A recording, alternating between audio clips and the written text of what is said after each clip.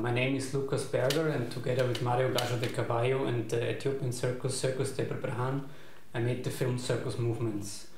We are very happy to be part of your festival. Um, unfortunately, we cannot come and celebrate film art, video, and circus together with you. The film shows the skills of the young acrobats of Teklo Aşık's circus, but it also um, takes the audience on a trip to waterfalls, to the desert, to the mountains, um, and to interesting cityscapes of Addis Ababa.